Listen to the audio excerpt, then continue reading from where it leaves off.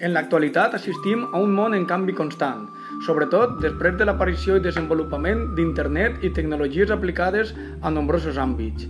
El que està canviant les formes de compra i els models de negocis, oferint, per exemple, serveis gratuïts als clients i obtenint els ingressos per altres mitjans, així com les formes de relacionar-nos amb altres persones, l'aparició de les xarxes socials.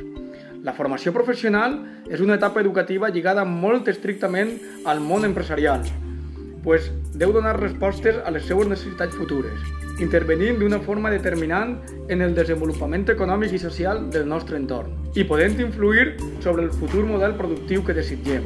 Davant un futur tan canviant i incert, les necessitats en les empreses del segle XXI no són les que tenien en el segle XX, apareguent un factor clau per adaptar-se a aquesta nova situació. Este factor és la creativitat. Les empreses de major èxit en l'actualitat, com Google, 3M o Infojobs, basen el seu èxit en la capacitat creativa dels seus empleats.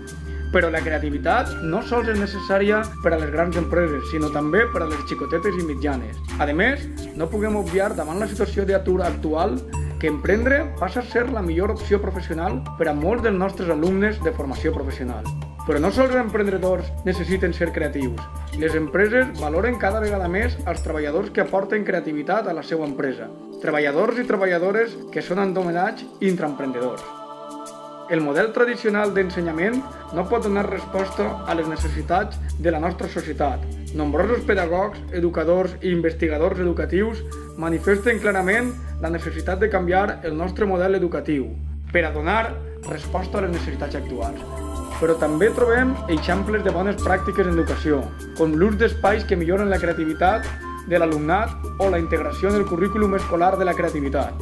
Per exemple, a Finlàndia, o els cicles d'alt rendiment al País Basc, o en el Col·legi Montserrat de Barcelona o a la Universitat de Stanford als Estats Units.